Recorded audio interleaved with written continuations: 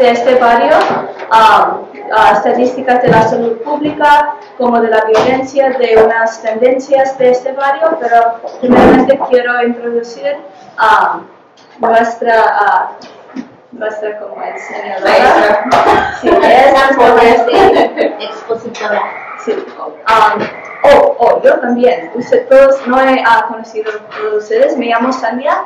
Soy la navegadora de salud aquí. Entonces trabajo con diferentes tópicos de salud y tam- ah, también hago unas como talleres de resumes para ah, si usted tiene interés en crear un resumen como un currículo o ah, buscar trabajo, también puedo ayudarle así. Um, y estoy, nosotros dos estamos en un programa, se llama AmeriCorps, es un programa nacional que, ah, que tiene voluntades que trabajan en diferentes ah, lugares, ciudades y diferentes como tópicos, como nuestro programa es sobre la salud, entonces yo trabajo aquí en Family Focus y ella en el Centro de Salud de Um, Sí, bueno, entonces fue mucha información. Pero voy a empezar con las estadísticas de um, Hermosa. Y antes de empezar, toda esta información fue, ah, fue como ah, organizado y todo eso por un grupo que se llama Smart Chicago Collaborative. Y ah, ella es mi dueña, como dueña Patrice. Y esta organización toma ah, información de la salud pública, diferentes estadísticas y lo pone en un sitio de web, se llama Chicago Health Atlas. Entonces voy a mostrarse unas, ah, ah, ¿qué dice graph? unas gráficas de estas tendencias de unos años, entonces usted puede ver cómo son las diferentes tendencias de hermosas con relación a la ciudad de Chicago. Entonces vamos a empezar así. ¿Pueden verlo usted o uh, take turn off the light? Entonces, toda esta información es sobre la mortalidad en Hermosa. Este es de la ciudad de Chicago y esta columna es de Hermosa.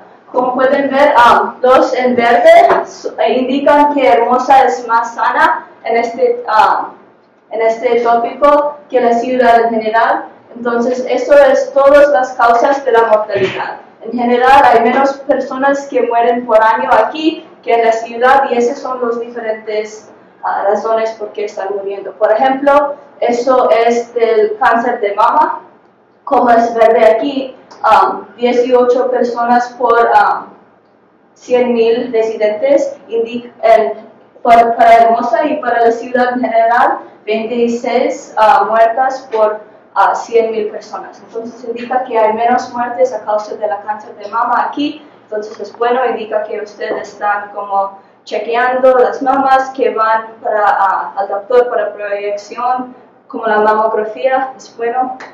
Ah, y en general todos los cánceres, ah, diabetes, ah, tópico de hoy, eso indica que hay ah, menos muertes a causa de la diabetes que en la ciudad en general. Ah, 63 en Hermosa por 100 ah, 100.000 residentes y para la ciudad en general 70 por 100.000. Entonces ustedes están ah, controlando su diabetes bien. Ah, muy bien. Y, pero hay dos, ah, dos lugares donde hay más muertes en Hermosa que en la ciudad en general. Y estos son la, la mortalidad de los bebés ah, y también ah, las enfermedades del hígado. hígado. ¿Hígado? Hígado. Hígado. Hígado. Am, las causas de estas muertes para los bebés quizás es el cariño postpartum, post, postpartum, sí. Am, y eso ah, hay diferentes causas. Ustedes, ah, si está por dar la luz, puede ah, ir más al doctor al dar la luz para chequear el bebé. Ah, yo no sé mucho sobre eso, pero voy a hablar sobre un poco de, de las enfermedades del hígado. Um, hay diferentes razones que pueden desarrollar eso. Um, los populares a causa del alcoholismo, entonces si toma mucho va a desarrollar um, como say scarring? Cicatrices. cicatrices del hígado y ese puede um, la- los, ah, pueden degenerar, degenerar.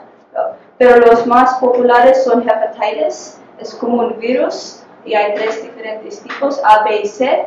Para A y B usted puede recibir una inmunización um, y eso puede uh, proteccionarse contra el virus, pero para C no hay ninguna inmunización y los tres son um, uh, compartidos con contacto sexual y también si usted um, está en contacto con sangre o diferentes fluidos del cuerpo de una persona que tiene el virus. Pero para los A y B usted puede recibir inmunizaciones y eso puede protegerse.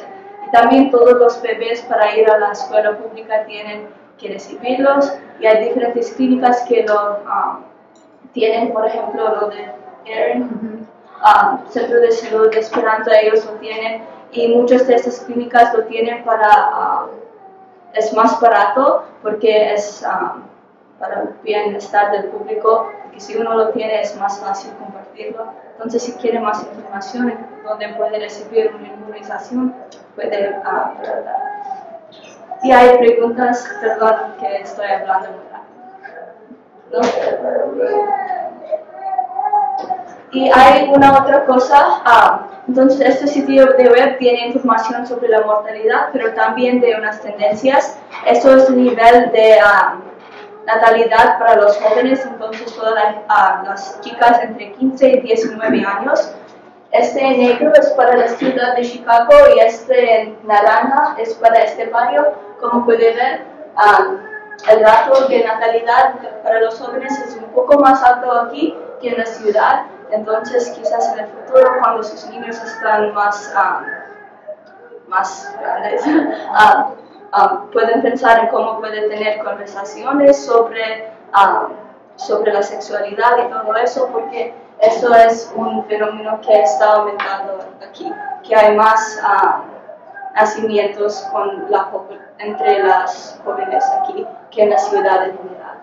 Y como ustedes saben, es difícil para las madres y para los bebés también si ellas tienen bebés de edad más joven, entonces es algo que usted puede pensar uh, sobre cómo padres aquí.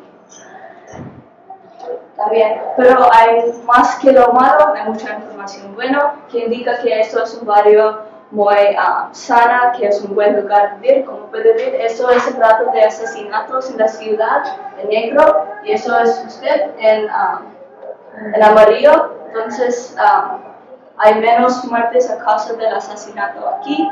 Entonces, es un barrio muy bueno y también para asalto. Entonces, cualquier violencia, um, en general, hay um, menos violencia doméstica, menos violencia como en las calles y todo eso aquí, um, en relación de la ciudad, que es En general, Hermosa es un lugar muy bueno para vivir. ¿Tienen preguntas? Es todo para mí, yo solo quería compartir estas estadísticas, pero ahora quiero introducir a mi amiga y compañera de trabajo. Ella se llama Erin y ella trabaja en el Centro de Salud de Esperanza y ella hace esos talleres de la diabetes y um, ella trabaja con la población en Little Village, Pilsen. Entonces, um, ella también, como ella no es hispanohablante, pero ella habla español muy bien y creo que ella, sí, ella, casa. Entonces, si tiene preguntas, es muy simpática. Pueden ayudarnos. Gracias.